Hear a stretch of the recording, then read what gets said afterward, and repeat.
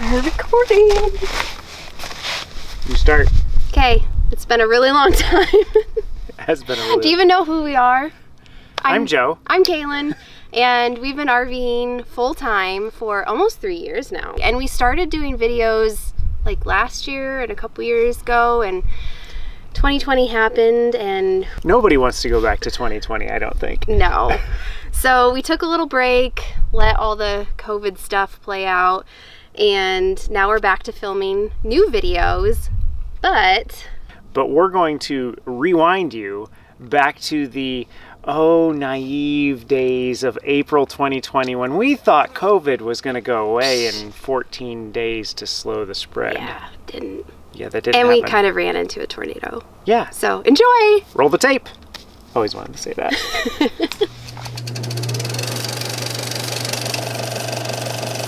We've done a lot of moving in the past month. Three weeks ago, we were right here.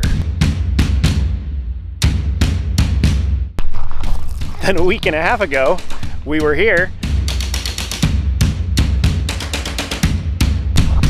And now we're right here. Stinking coronavirus.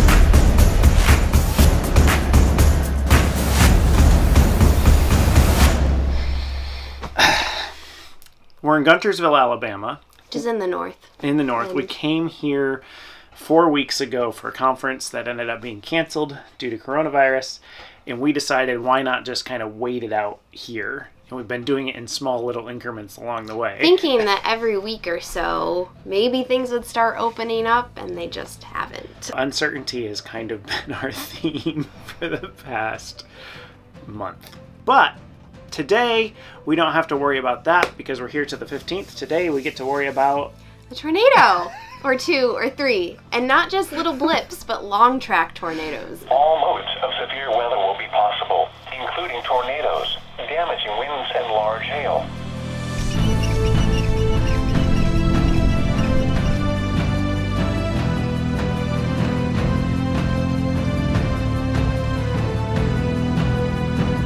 It's not perfect coverage,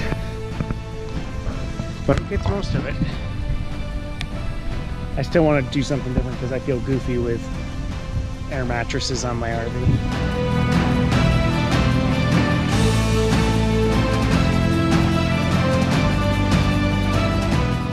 We're hearing some thunder. Yep. Has started raining. I'm What- getting out my nervous energy on my little project.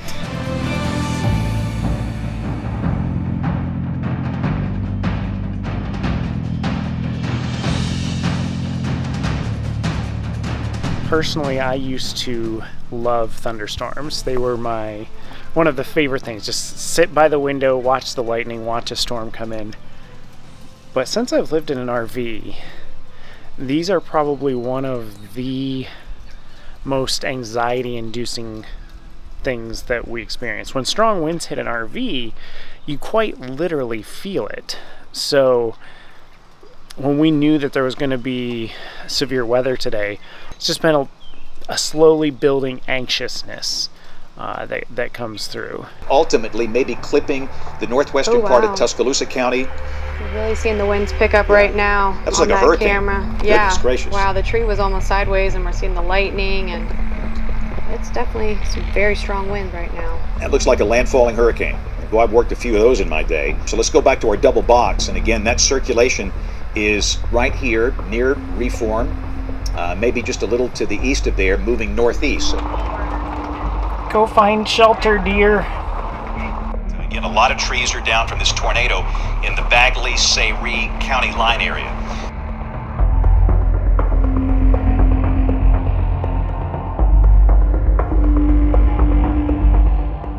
The weather radio just said we had a tornado on the ground right down here south of us.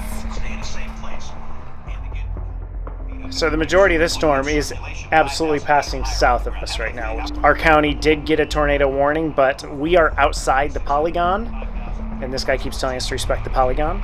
We are right there where that finger point is on the screen, and this storm has continued to just track south of us. So I think we're out of the fear zone for this one.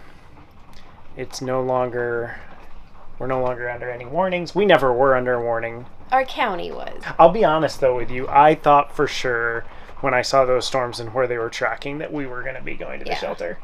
Yeah. Uh, and I'm glad we had everything prepared. But I'm equally more glad. See what that is. So we're watching the guy again. We've got a severe thunderstorm warning at the moment and a tornado warning southwest of us. And again, that thunderstorm is crossing out of Walker, coming up into Winston County. Great, guys. We gotta be prepared. I know you're not gonna be happy. Come on. There you go. So this is where we are. We are actually just above this, Okay. and this is a severe thunderstorm warning. Okay. However, So this is moving. this is a tornado warning right here that just showed up, and if that spreads this way, I mean, we're right in it. So Right. I just want to be prepared if that happens or if this gets extended up, we're just going to go. Okay. The city of Cullman's in the Polygon. Good Hope. Hanceville is in the Polygon here. Vinemont, Berlin, Simcoe, Holly Pond. All of these places, you need to be sheltered right now.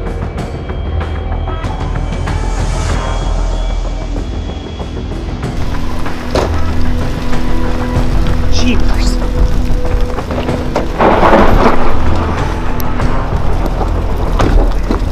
You just brought the bunnies right into here. I'm you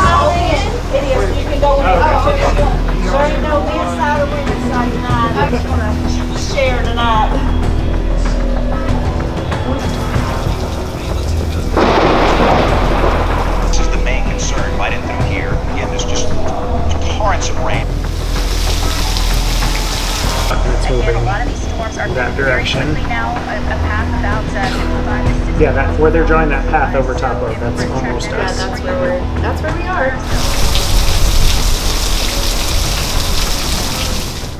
We're not the only ones in this shelter, obviously. There's a few other people as well. Most of our possessions are in that RV, and so even if we're safe, if the RV isn't, um, It's a big loss. it's a big loss. So that's where a lot of the a lot of the concern is right now. Just back over to our keep side. praying. So, Our families are praying. Yep. I just at this point, like, it's all in God's hands. Just got an alert. Dangerous storm. We're all clear. Uh, we are still under a tornado watch till midnight because there's another line of storms moving across Mississippi. So I'll be keeping an eye on them. Once they pass by safely, I'll be going to bed and calling it a night.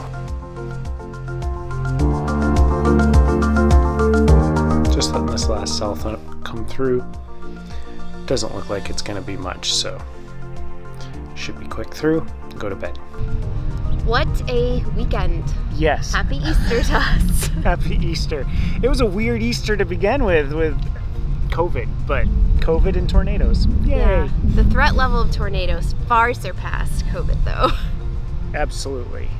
What went through your mind when you saw the tornado damage for the first time? It was really weird, and as we were filming some of the footage, I don't know about you, but I just felt like we stopped after just a little bit just because I felt smarmy and like these people are really struggling to put their lives back together. I think the thing that hit me the most was seeing the other RV on its side, Mm. because that that's somebody's. For them, it's probably their recreation, but it, it struck me as that could have been our home, Right. Like with a tree through it or on the side. And I was also struck by how you'd have a house completely obliterated, and not even 50 yards away, you'd have an RV completely fine. It's just amazing how a tornado a is just such a tight path of such crazy damage. But But tomorrow we head to Arkansas. To Arkansas. I think it's still in Tornado Alley. very much is. And we're there for a month at least. But uh, yeah, well, maybe sometime in the future we'll see you on the open road. Bye.